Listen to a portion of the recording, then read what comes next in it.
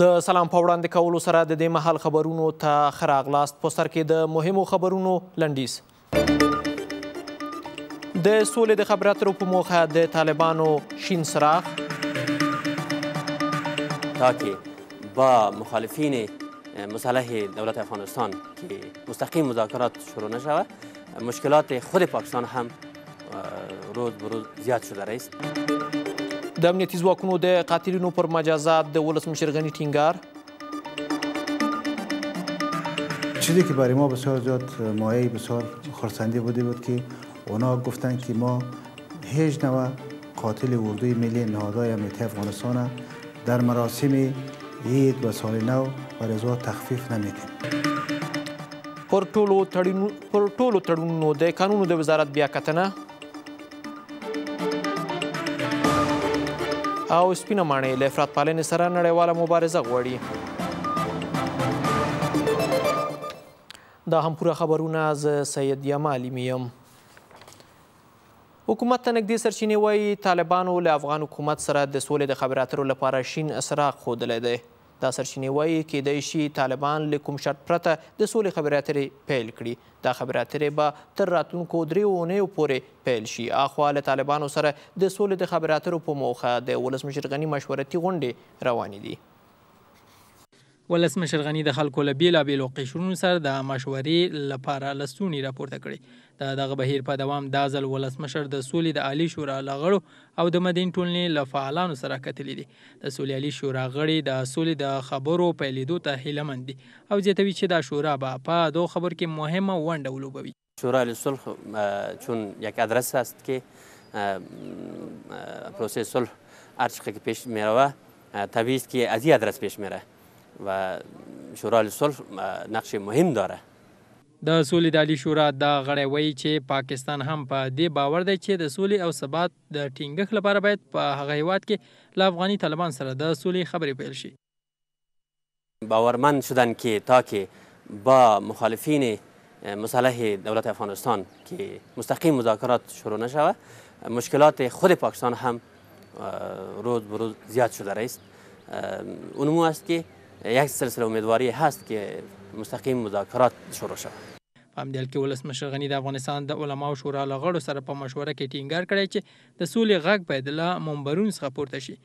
ولسمشر د دغه شورا له غړو وغوښتل څو خپل نظرونه په لیکلي توګه ولسمشرۍ ماڼۍ ته واستوي. اخو ویل کېږي چې پاکستان او طالبانو له کوم شرط پرته د سولې خبرو لپاره لېوالتیا ښودلې او دا خبرې به ډېر ژر پیل شي. یو شمېر کارپوهان وایي ولسمشر هڅه کوي څو په دې اړه له خلکو هېڅ هم پټ پاتې نه شي.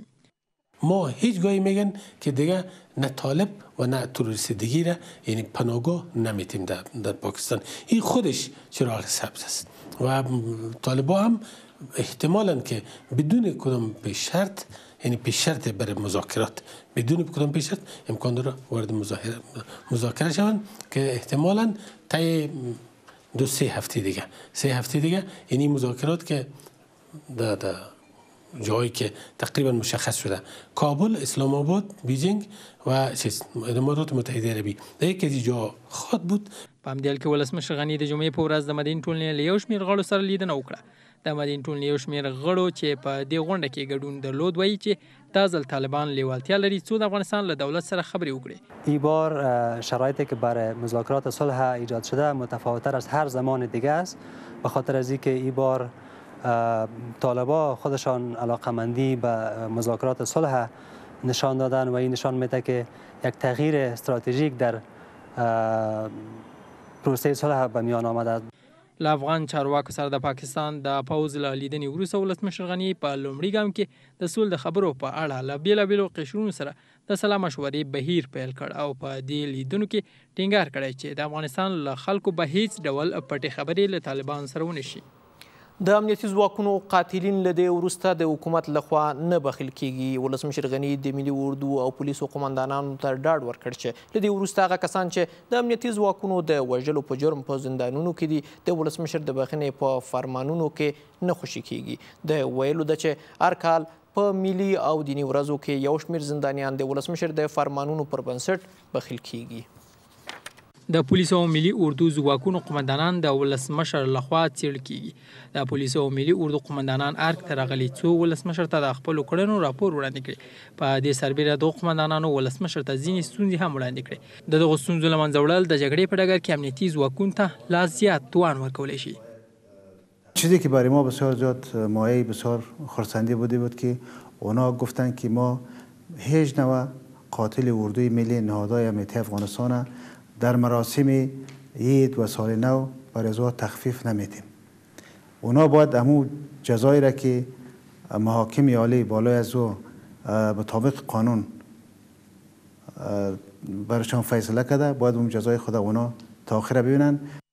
ولسمشر په دې غونډه کې د ملي اردو او پولیسو قومندانان ته امر کړی چې له دې وروسته له دفاعي حالته بهر شي او د ترهګرو د ځپلو روحیه غوره کړي. دا په داسې حال کې ده چې همدا اوس د هلمند په ولایت کې د امنیتي ځواکونو تر ټولو ستر پوځي عملیات دوام لري او دا عملیات د ترهګرو د ځالو له منځه وړو او له ترهګرو د سویلي سیمو د پاکولو په موخه پیل شوی. در مناطق مختلف ولایت هلمند عملیاتها را شروع کردند به صورت بسیار وسیع و وعده دادند که این مرتبه طوری باشد که مناطقی که عملیات صورت میگیره برای همیشه بعد از عملیات هم امنیتش تأمین شود اوس مهال افغانستان د امنیت له پلوه په تر ټولو مهم حالت کې دی خلک وایي چې له امنیتي ځواکونو د خلکو او حکومتي مشرانو ملاتړ هغوی ته روحیه ورکوي که چیرې خلک او امنیتي ځواکونه یو موټی شي نو دښمن د هیواد په وړاندې هیڅ نشي کولای د کانونو وزیر د ټولو کانونو په لاسلیک شویو تړونونو باندې له جدي غور څخه خبر ورکوي. داود شاه سبا وایي، په یو شمېر تړونونو کې روښانتیا نه لیدل کېږي. اخوا د افغانستان پر طبیعي سرچینو د څارنې د ادارې غړي وایي، په یو شمېر تړونونو کې په پراخ ډول فساد شته. د کانونو وزیر وایي چې د یو شمېر کانونو په قراردادونو کې چې تر دې وړاندې لاسلیک شوي دي بشپړ سنجش نه دی شوی او دا کار د دولت د حقوقي اعتبار او د ملي ګټو د لاسه تلو لامل شوی داوشا سبا طلوع نیوز ته ویلي چې د قراردادونو د مشروع ګټو لپاره باید د ټولو کانونو قراردادونه د یو مسلکي ډلې له خوا له سره وکتل شي. متاسفانه ایر تایید میکنم ویس یک شهروند افغانستان که او شفافیتی را که لازم است در سکتور منابع منرالی باشه در این سکتور تا به حال ایجاد نشده مثلا قراردادا باید کلش اعلان میشد در وبسایت وزارت معادن و پترولیم که ای از جمله مکلفیت های قانونی ما است که ای کار صورت نگرفته اخوا د افغانستان پر طبیعي سرچینو د څار شبکې مسولان د کانونو وزارت له دغه اقدام څخه خوښي څرګندوي او وایي چې د یو شمېر قراردادونو نه روڼتیا او د هغو د شرایطو په اړه د لازمو اطلاعاتو نشتوالی د هېواد د کاني سرچینو د تله ترغې کېدو لامل شوی. آودینی که باید اینا داوطلبی میشدن به صورت قرارداد اجاره‌ای و اینها داده میشد یا به قول معروف زرخرید میشد یا بسیاری قراردادها توسط ریاست های ولایتی عقد شده بدون اینکه مرکز در جریان قرار بگیره په همدې حال کې د کانونو وزیر زیاتوي چې د کانونو د ستونزې د اوارۍ په برخه کې هڅه کیږي چې د کانونو په وزارت کې لازمه وړتیا رامنځته کړي اگر یک روز در این وزارت باشم یا یک سال باشم یا هر وقت که ملت افغانستان تصمیم بگیره من در اینجا باشم منافع ملی ما بالاتر از هر منافع است منافع ملی مردم افغانستان بالاتر از هر منفعت است. سرنوشت نسل امروز و نسل های بعدی در گرو مادن افغانستان است. د کرنو د راویستنې په تړونو کې د پراخ فساد شتون، له دغې برخې په ترلاسه شویو عوایدو کې لاس وهنه او آن قاچاق وړونکو او با نفوذه کسانو ته د یو شمېر قراردادونو رسېدل د دې لامل بلل کېږي چې په تېرو دیارلس کلونو کې افغانستان په دې برخه کې لازمه لاسته راوړنه نه ده ترلاسه کړې. د کابل پولیس وايي، هغه هلک چې د یوې نجلۍ لپاره ځان سوځونه کړې وه، په خپلې خوښې له یو بل هلک سره تښتېدلی وه. دا نجلۍ چې له خپل نوي ملګري سره د پولیسو په توقیف کې ده، وايي، په خپله رضا له کوره تښتېدلې ده. د دې نجلۍ پخواني ملګري تېره اونۍ ځان سوځونه وکړه او لیکلي و چې دا نجلۍ تښتول شوې ده. ولسمشرۍ ماڼۍ د دروازې په وړاندې د فیروز نومي کس د ځان سوځونې پیښې نوي اړخونه پیدا کړه. د کابل پولیس وایي چې په دې پیښ کې هیڅ سړی تښتونکی نشته او نجلۍ په خپلې خوښې له یو هلک سره له کوره تیښته کړې او د واده په هوډ کندهار ولایت ته تللې ده. په همدې حال کې د دغې محصلې نجلۍ ملګري طلوعنیوز ته ویلي چې هغه له دغې نجلۍ سره په پټه توګه واده کړی دی او د کورنۍ پاسپورت یې هم اخیستی. ما چون نکاح کرده بودم بعد از او پاسپورت فامیلی گرفتم و پاسپورت فامیلی را ما بردم به سفارت پاکستان که برای ما شش ماه ویزه دادن و او شش ماه ویزه ای را هم خواستند همونجا از ای را دیدند و از هر دوی ما مصاحبه کردند بعد از او ویزه را دادند ما رفتیم پاکستان. د کابل ولایت امنیه قومندان وایي چې دا نجلۍ له مور سره له ټیلیفوني اړیکې وروسته بیا کابل ته راغلې. دختر و بچه که مورد ادعا بود او را بیاریم فعلا نزد پلیس است دختر در خانه امن است یا شلتر بگوییم در اوج است و بچه نزد ما فعلا تحت نظارت قرار داره که همه شواهد مدارک اثباتیه و اسنادی که ما به دست داریم فقط من حیث امو یک نقطه مسلکی که فرار از منزل به هدف ازدواج بوده و بس. دا محصله له فیروز سره خپلې اړیکې مني او وایي چې هغې فیروز ته ویلي و چې نوموړې تښتول شوې ده. د فیروز ملګري اوس د خپل لومړي ملګري له ځان سوځونې خبره شوې ده. فیروز په مزار شریف ښار کې د حقوق او سیاسي علومو د پوهنځي محصل و. هغه په کابل کې د دې نجلۍ سره د مین لپاره ځان وسوځاوه. تر دې وړاندې د دغې کورنۍ یو شمېر خپلوانو ویلي چې ناپېژاندو کسانو دغه نجلۍ تښتولې او له کابله یې بهر ویستلې. د بشري حقونو خپلواک کمیسیون له حکومته غواړي چې په قضايي نظام کې جدي اصلاحات راولي. دغه کمیسیون وايي، محکمې د هېواد په بېلابېلو برخو کې یو شان پرېکړه نه کوي. د ولسي جرګې یو شمېر غړي هم په قضايي نظام کې جدي اصلاحات غواړي. د بشري حقونو خپلواک کمیسیون وایي چې تر اوسه د هېواد قضایي نظام د اصلاحاتو لپاره جدي ګامونه پورته شوي دي. د دغه کمیسیون ویاند وایي چې پر قضایي ادارو د خلکو د باور زیاتېدو په موخه دولت باید جدي اصلاحات رامنځته کړي. از روز تحلیف به طرف که امی صدای رئیس جمهور جدید ما هم بوده و اواز به اصطلاح بلند کرد که نظام عدالتی ما باید اصلاح شود نظام عدلی ما ولی کارهای عملی هم در این راستا باید گرفته شود بالاخره و که تا مورد اعتماد مردم قرار بگیره و قضای خود به این ارگانا راجع بسازه کمیسیون مستقل حقوق بشر سخت طرفدار ازی هستند که استقلالیت قضا من حیث نهاد واحدی که در افغانستان نظام عدالتی را پیش میبره باید تحکیم و استحکام پیدا بکند په ملي شورا کې د خلکو استازی هم وایي چې پر قضايي ادارو د خلکو بې باوري د دې لامل شوې چې د کلیوالو سیمو یو شمېر اوسېدونکي خپلې حقوقي ستونزې په قومي جرګو کې حل او فصل کړي. ټول خلک په دې امید دي او دا انتظار باسي چې په قضايي ارګانونو کې ښه اصلاحات راوړي او کوم سیستم چې دا اوس دی په دې سیستم کې د عدلي او قضايي په دې کې تغیرات راوړل شي او صحیح خلک، پاک خلک پر چوکیو باندې وګومارل شي. د هېواد ښاروندیان هم په قضايي برخه کې د اصلاحاتو د راوستو غوښتونکي دي. مردم به دادگاه های صحرایی رجوع می کنند به خاطر از اینکه کارهایشان دوسیه هایشان ماهها حتی سالها طول می کشه و کسایی که مستحق هستند و رضوا به بر حق خود نمی رسند. سوگن وفاداریشان این بود که ما باید این مشکلات را یا این فساد را که است ریشه کن کنیم تا هنوز به عنوان یک شهروند که است ما شاهد این نیستیم که ای فساد را ریشه کن کنند. د بشري حقونو مدافعو بنسټونو په ځلونو اندېښنه څرګنده کړې وه چې د هېواد په کلیوالو سیمو کې د محکمو نشتوالی او د دوسیو نه څېړل کېدل د دې لامل شوي څو خلک د خپلو ستونزو د اوارۍ لپاره قومي جرګو او آن د دولت د وسله وال مخالفانو ساري محکمو ته مخه وکړي. له زیاتو هڅو سره سره په دې اړه د سترې محکمې د نظر په ترلاسه کولو بریالي نه شوو.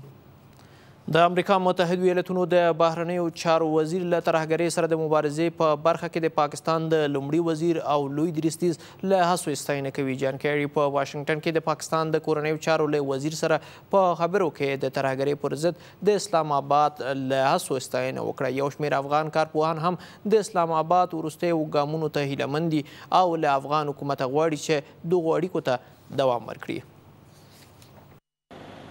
له افغانستان سره د پاکستاني مشران د همکارۍ نوې هڅې او د ترهګرو له منځه وړل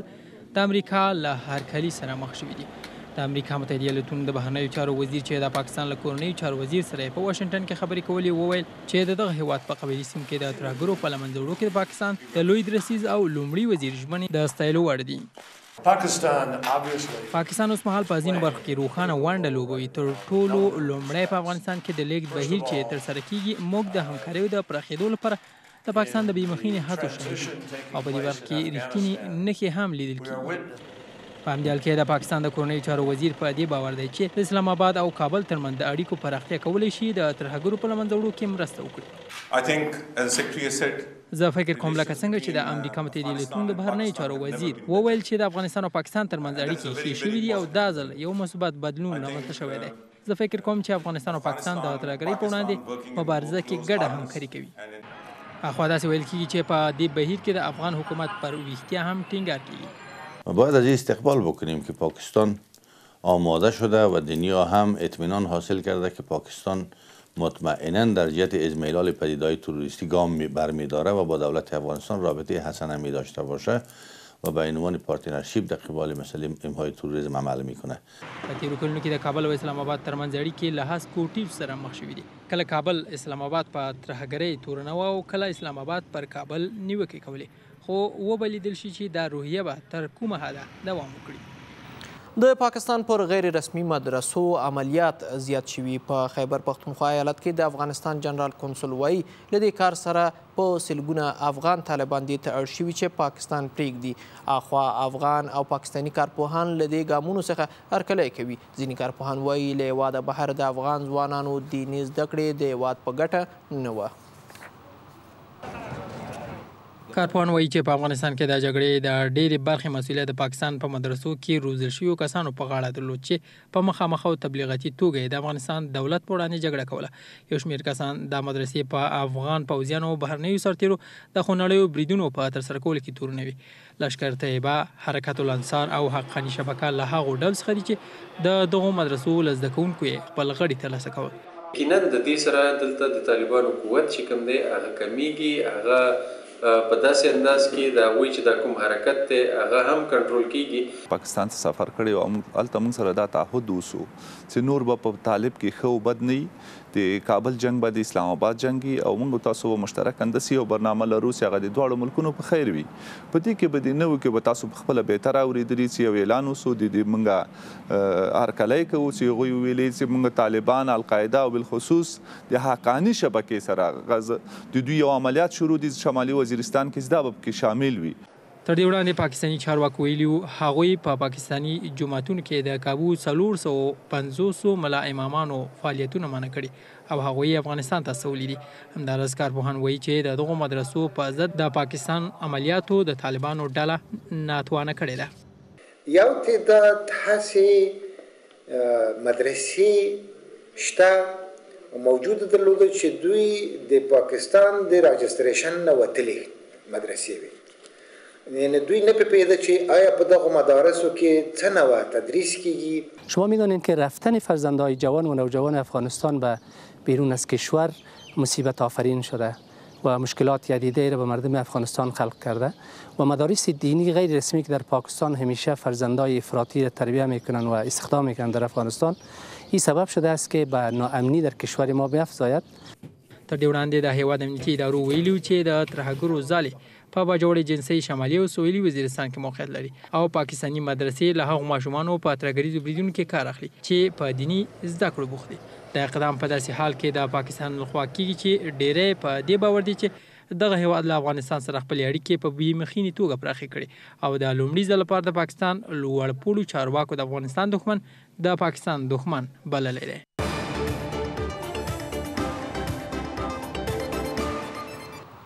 دا هم څو بهرني خبرونه. د امریکا متحدو ایالتونو د ملي امنیت سلاکاره د نړۍ له ټولو هیوادونو غواړي چې د افراط پالنې له منځه وړلو لپاره په متحد ډول کار وکړي. سوزان رایس وایي له افراط پالنې سره مبارزه ګډو همکاریو ته اړتیا لري. اخوا په امریکا متحدو ایالتونو کې د مسلمانانو د ټولنیزې شورا اجراییه مشر هم له داعش سره ګډه مبارزه غواړي. په نړۍ کې د ترهګرو ماته د نړۍ ګډې مبارزې ته اړتیا لري. د امریکا متحدو ایالتونو د ملي امنیت سلاکار چې په واشنګټن کې خبرې کولې د ترهګرۍ او بنسټ پالنې په وړاندې په مبارزې ټینګار وکړ او زیاته یې کړه، که څه هم چې د دغې ښکارندې له منځه وړل یو ستونزمن کار دی، خو اړتیا ده څو ټوله نړۍ د ترهګرۍ په وړاندې مبارزه وکړي. په پیل کې موږ هوکړه وکړه څو حکومتونه په متحده او یو موټي توګه کار وکړي، څو په سیمه ییزه او محلي کچه ګواښونه وپېژنو او وتوانېږو خپل ځوابونه همغږي کړو. په همدې حال کې په امریکا متحده ایالتونو کې د مسلمانانو د شورا مسؤل د ترهګرو په ځپلو کې د نړۍ اتحاد اړتیا بولي. یو اوږد واټ په مخکې لرو. په ټولو ټولنو کې د خلکو یو ځای کېدل داسې قوت دی چې کولی شي د داعش په څېر ډلې څنډې ته کړي. په اروپا کې د ترهګریزو بریدونو زیاتېدل، په نړۍ او منځني ختیځ کې د ترهګرو د نفوذ زیاتېدو امریکا اړ کړې څو په سپین ماڼۍ کې دا غونډه جوړه کړي چې د کابو شپېتو هېوادونو استازو په ګډون له درې ورځو وروسته پای ته ورسېده.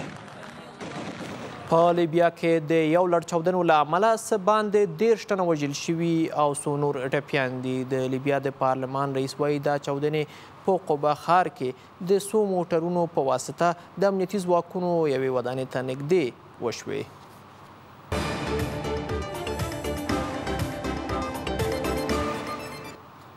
دا هم څو اقتصادي خبرونه. د کابل یو شمېر اوسیدونکي په خبازیو کې د ډوډۍ د وزن له کموالي څخه نیوکه کوي. دوی وايي، حکومت د دې ستونزې د اوارۍ لپاره پاملرنه نه کوي. اخوا یو شمېر خبازان دا مني چې په ډېرو وختونو کې د هغوی د ډوډۍ وزن کم وي. که څه هم چې د لس افغانۍ بیه لرونکې ډوډۍ وزن د ښار د کسبګرو د اتحادیې له خوا نانوایانو ته دوه سوه او پنځه دېرش ګرامه ټاکل شوې، خو دا نانوایان کم وزن لرونکې ډوډۍ په خلکو پلوري. د پلازمېنې یو شمېر اوسېدونکي وایي له دې امله چې د ډوډۍ وزن کم دی ډېر شمېر نانوایان جوړه ډوډۍ پخوي او د هغې بیه د نانوایانو لخوا ټاکل کېږي. ښاروالۍ دوی ته چې هر څونه وزن ټاکلی وي هماغه وزن په لحاظ دوی باید هماغونه ډوډۍ پخه کړي او هماغه لحاظ باندې یې ورکړي او د دې نرخ خو لس افغانۍ په ارزي کې دی دې نه جګ باید دوی ورنه کړي. چنین که ما میګویم از نگاه شریعت اسلامی هم نظافت جز ایمان است برادر های ما در خبادیا باید نظافت یگانه چیزی است که مراعات کنند به خاطر که مردم عزیز ما از یا نان میخرند و به خاطر صحتمندی از یا باید نظافت بسیار مراعات کنند اخوا په پلازمینه کې یو شمیر نانوایان دا مني چې په ډیرو مواردو کې له یوې بورۍ وړو څخه چې 50 کیلوګرام وزن لري او 1500 افغانۍ یې بیه ده تر 350 ډوډۍ چې هره ډوډۍ 10 افغانۍ بیه لري جوړوي یعنی یو شمیر نانوایان په یوې بورۍ وړو کې تر یو زرو او پنځه سوه افغانۍ ګټه ترلاسه کوي. قیمت از این آنام ده افغانی است که ده مو وزن استگ او قیمت از یام ده می وزن استگ ده افغانی است. قیمت از این که دو نان یک جا می شود که وزنش بالاتر است ایره بیست افغانی استگ. نکنیم ما اینجا نرخنامه در دست داریم دیگه هر کس که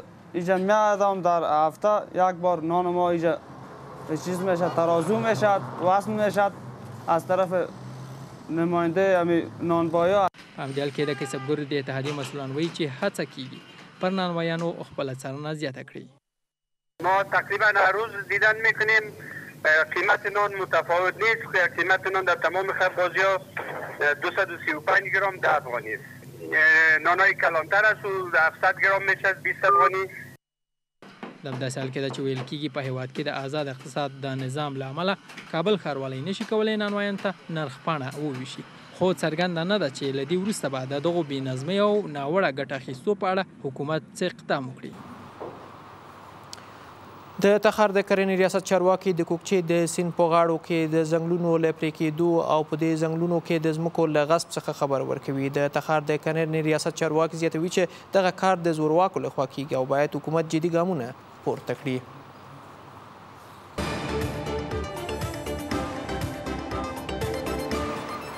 د خبرونو دوام د کابل پولیسو د اولمپیک د ملي کمیټې درې تنه ساتونکي د تکواندو د ملي لوبډلې د اعتراض کوونکو له کېږدې سره ونیول. تصمیم کوونکي وایي، د اولمپیک د ملي کمیټې وسله والو هوډ درلود څو د اعتراض کوونکو له کېږدې څخه تصویرونه لرې کړي. اخوا د اولمپیک د ملي کمیټې رئیس وایي، دا د ساتونکو شخصي کار دی. دا اعتراض کوونکي وایي چې د پنجشنبې په شپه کله چې دغو وسله والو کسانو غوښتل د هغوی کېږدۍ ته ورنږدې شي د پولیسو له خوا ونیول شوه. امروز اینا شاهد کل مردم افغانستان شاهد است رئیس جمهور افغانستان شاهد است که ما خدمتگار از این کشور بودیم و امروز این خائنا این خائنایی که بادیگاردای آقای هاشمی است به قصد کشتن ما آمده بودند اینجا که اینا گرفتار شدند کلگیشان به اینجا حمله کردند تا عکسای آقای هاشمی را از جا بردارند. په همدې حال کې د کابل ولایت امنیه قوماندان وایي چې په دې اړه څېړنې روانې دي. سه چار نفری که بوده واره فعلا در آمریت حوزی دوی ما قرار داره تحقیقات ما جریان داره تا اصل حقایق با در نظر داشت قانون نافذی کشور و قانون تظاهرات و گردهمایی که او را ما ببینیم و قضیه را انکشاف بتیم که تا ملامت و سلامت معلوم شود. دا معترضان له یوې اوونۍ راهیسې د زرنګار په پارک کې مېشت شوي او د المپیک ملي کمېټه له هغو کسانو په ملاتړ تورنوي چې د ورزشکارانو پیسې یې جیبونو ته وهلي دي. دا او د دې مهال خبرونه، ښې چارې.